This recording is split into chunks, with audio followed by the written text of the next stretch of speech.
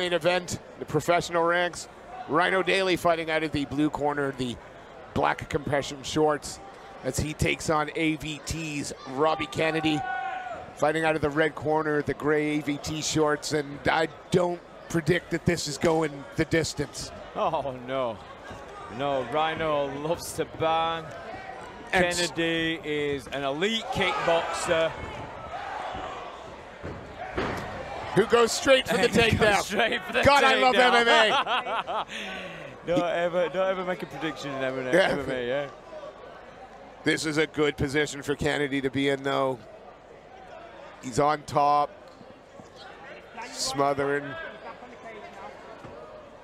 Nah, so just going to work, chipping away. And of course, we're in the pro ranks now, so those little chipping, chipping elbows, those absolutely legal, allowed, and indeed encouraged. Yes, yes. Everybody likes an elbow, usually except for the person who's getting elbowed. Yeah, Kennedy still on top. That's And it. as you say, path of least resistance sometimes. We know both these guys can bang, and Rhino, Yeah. Rhino I don't think has met a, met a fight that he didn't like. Yeah, that much is true. But you know, Kennedy, um, he is well versed in the grappling. Yeah. You know, training training with the AVT lads is. Uh, he wouldn't have survived in the gym this long if he hadn't have learned how to grapple, and he is a true martial artist as well. So um, you just see him take his time, chip away. What you want to see from uh, Rhino is to uh, shoot. Pulls him, try to pull himself back in the guard, gets that. He yeah, gets his, guard, back. guard back. So we've got some guard retention now. Now he's going to look to climb the cage. And remember, his last fight against Ian Rollerson, he caused him some problems by being Yep. busy on the bottom and just making it awkward. You know, he got back to his feet. So, but Kennedy doing the right thing right now, just creating a brace. Not That- being too close. The butterfly, if you're too close on the butterfly, you know, you get leverage, you can kick away like so. Holding the wrist, putting the weight down through the wrist. You know, it's a good way of stopping people to get back up.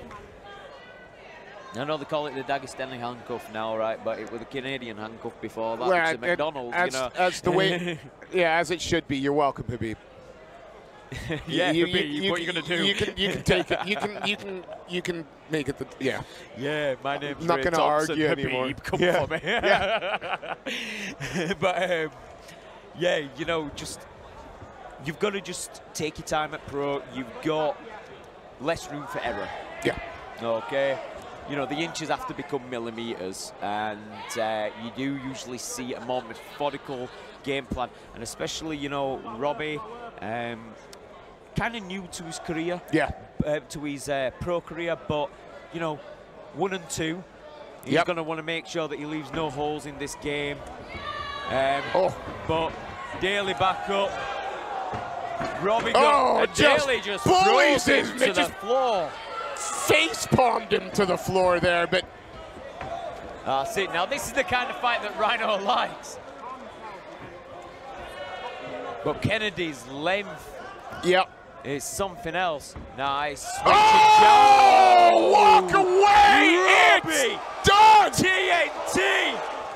That's And uh, boss Just- man just whispering in his ears then that that's Yeah. one bonus sorted. So, Robbie Kennedy, if you see this and you ain't got your bonus yet, get on to Ray. yeah. Get on to Ray. Thompson because there's a knockout and then there's a finish of the night bonus. That's 250 pounds straight into the pocket.